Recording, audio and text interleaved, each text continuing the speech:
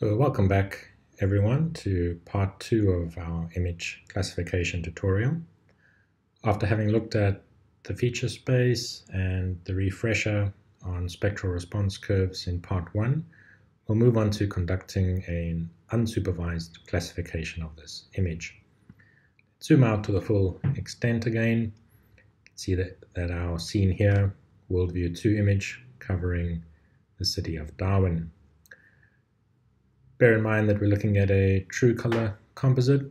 I'm displaying, in this case, the red band in the red channel, green band in the green channel, blue band in the blue channel. If we wanted to make a false color composite, we don't have an embedded profile like we do with Sentinel-2 images. So we need to manually place that near infrared band into red red to green and green to blue. That'll give us the false color composite, which really brings out the photosynthetically active vegetation shown in sh shades of red here. And as we come in, we can see some more detail, particularly in these mangrove areas. You can see more contrast between these drainage lines and the slightly higher elevation areas. So, um, what also stands out nicely are these green fields around the racetrack, some of the sports fields, lots of um, sports fields and parks in Darwin's suburbs.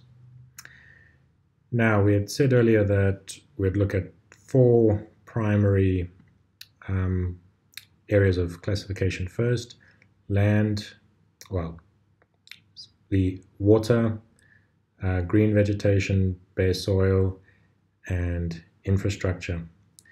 So bearing in mind that an unsupervised classification is often only a first step in a real classification, and we conduct it for learning purposes. It tells us how difficult our task is going to be and can often highlight areas of potential confusion.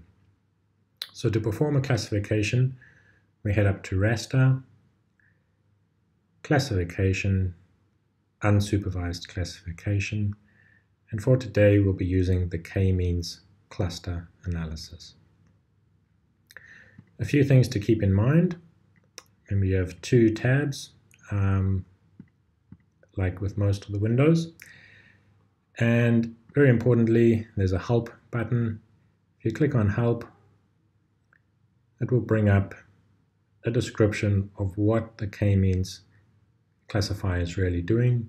And in this case, it is a cluster analysis, partitioning of a data set into subsets, clusters or classes, so that the data in each subset ideally share some common trait, often proximity according to some defined distance measure. Importantly, this proximity is, is not geographic, it's not in physical space, it's proximity within the feature space. So if you go through these menus, you can also have a look at the other uh, classification options that are available.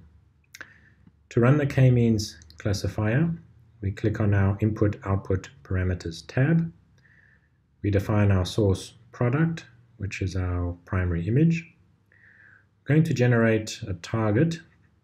It automatically uses the same file name, but adds underscore k-means onto the end. It's good practice to make use of underscores and not spaces in your file names. We're going to save it as a beam dymap, which is the snap format, and then choose your output directory. For processing parameters, we will set the number of clusters that we want the software to divide the image up into. And we said that we were interested in four categories. So let's see if that will work. Um, other options here is that we need to select the source bands that we're going to include in the classifier. We don't have too many, we might as well include them all. We have the option of adding a region of interest mask. That is, if we had an area defined and we only wanted to work within that area, we could pull up that shapefile here. And then finally we can click run, the algorithm will start writing that target product.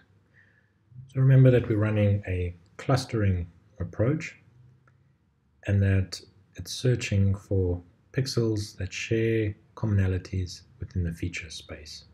So basically it's trying to define four homogeneous categories based on the reflectance values from all of those bands that we have selected. That will take a little while to run. And when it's done, this little dialog will pop up telling me that the file has been written and has been opened in Snap. Gives us the total processing time, 40 seconds on a MacBook.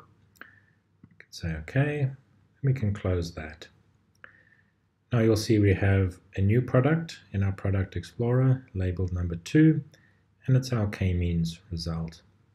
Let's click on that down arrow and have a look. We have just one band in the bands folder. Before we open that, let's just close the false color composite. So we have just the true color composite open.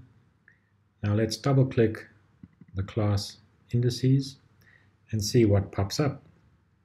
So this is our, claim, our k-means cluster result. Um, it's four categories and to make things a bit easier to see we can use this color manipulation tab over here that's next to the navigation pane to these purples to blues are a bit hard to distinguish so we can change them to more distinct colors now we can see those four classes. What I'd like you to do is go up to Window and choose Tile vertically. And in your navigation pane, just make sure that these bottom two icons are active. That will synchronize the extents and the cursor positions between the two images. Let's zoom in to actual pixel level and start browsing around the image. So click and drag the window on the bottom left.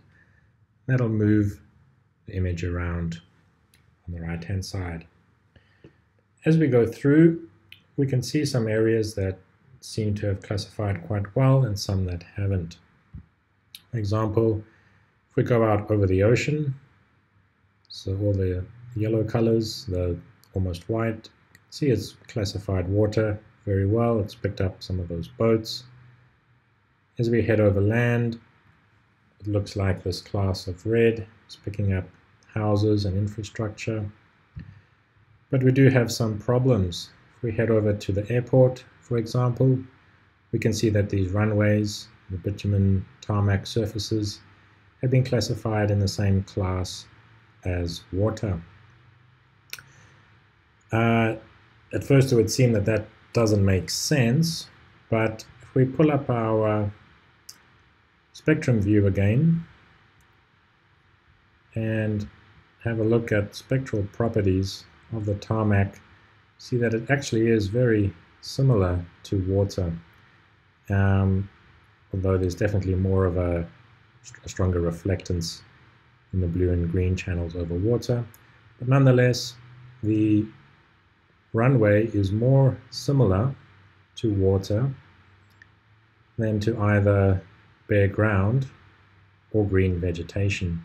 So that's why it get, got lumped in with the water class. Um, also worth noting is that over the, the national park here we have a number of different categories. It seems to have highlighted the mangrove areas quite well in the, in the yellow in this case. You can see this, even though you can't see it in the true color image, you can see these fringes of these little drainage lines, which are likely to be different species to what's found in the middle. Infrastructure-wise, many of the houses have come out in this red color, um, but it also looks like there's some confusion among some areas.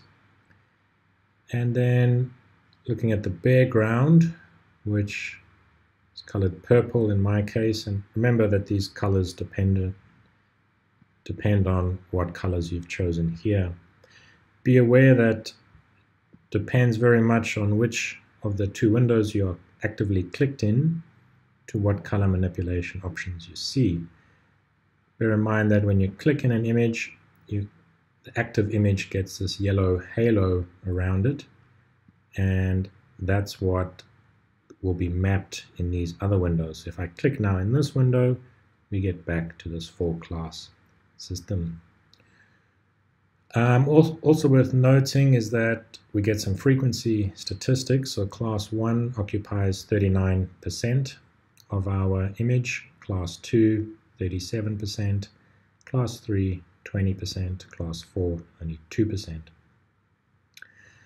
So let's close that. Um, it's interesting, but not overly useful. Um, looks promising for distinguishing water, at least, and there is definitely some confusion. But it, the important thing is that this step helps us target areas that need more attention. And in this case, distinguishing water from the, the tarmac is a key one. So how can we refine that? Obviously, adding in some better training data, actual fields, or ground verif verified training data would help. But that would move us into supervised image classification, which is the topic of our next tutorial. For now, what we can try is dividing this up further into more classes. So we only provide, we restricted the number of classes to four, so that limits the options of what can be um, produced.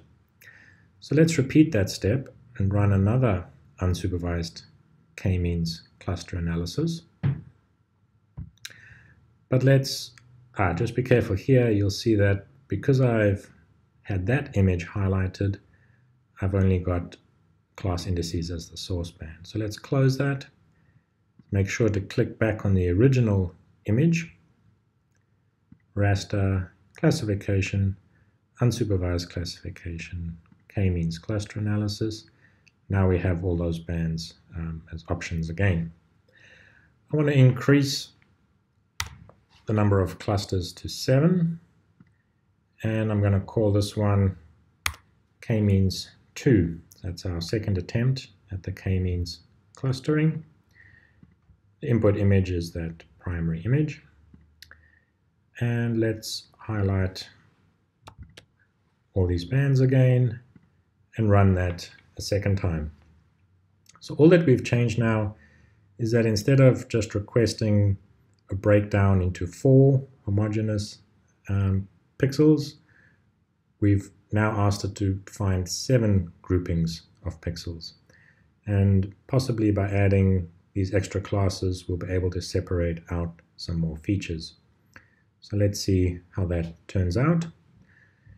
The first image took 40 seconds to write. Now we're asking it for more classes, so it'll take a little bit longer. And once it's done, this dialog pops up telling us that the target product has been successfully written and took 48 seconds that time, so a little bit longer. Let's say OK and close. Now we can open up, you will see that the third product has been added, k means 2.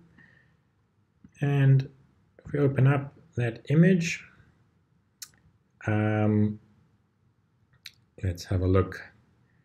We see that there are now more classes, and we see that in our color manipulation tab over here on the left too. And at first look, it's definitely captured the water well. If we zoom in a bit and have a look at that airport region, we'll see that indeed the tarmac, especially the primary runway, is now a different class to water, but we still have some confusion, particularly in these darker tarred surfaces. It's still being confused with water. We're not confused with water because this stage is not a classification, it's a, it's a clustering of like pixels together. So what I really mean to say is that these pixels are being grouped as having the same type of spectral response as water does. Um, so still not perfect, but better. We see streets separated. We see a bit more detail coming out in the in the swamps by adding in that extra class. You might want to again play with some of these colors to really highlight some of these differences by choosing different color options.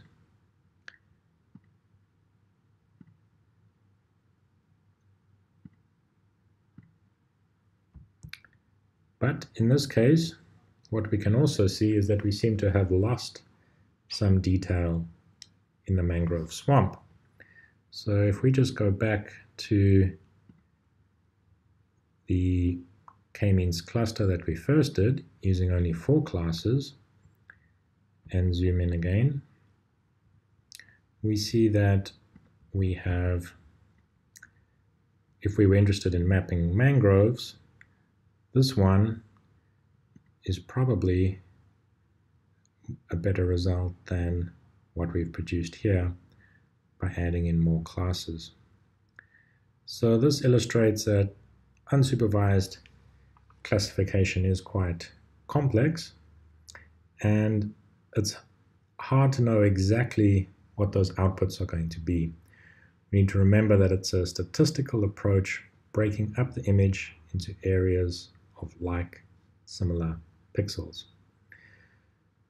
So what I want to illustrate here is that this is really a learning procedure. We need to play with a number of classes and we need to take the information from this stage and apply it in our next stage, which would be supervised classification. What we've seen here is that there's areas that need more attention. So now when we're going to choose training areas, we know that we need to focus on especially some of these darker impervious surfaces and collect decent training sites to separate them from water. We also know that within the national park down here, we would want to spend some time being careful to select areas within here that can help us differentiate from these different vegetation types. So that's it for part two. In the next session, we will move on to supervised classification. That's accessed from the same menu, classification, supervised classification. We have five different options there. We will start with the random forest classifier. But the first thing we will do in the next exercise is build up our training database. So thanks very much and see you next week. Cheers.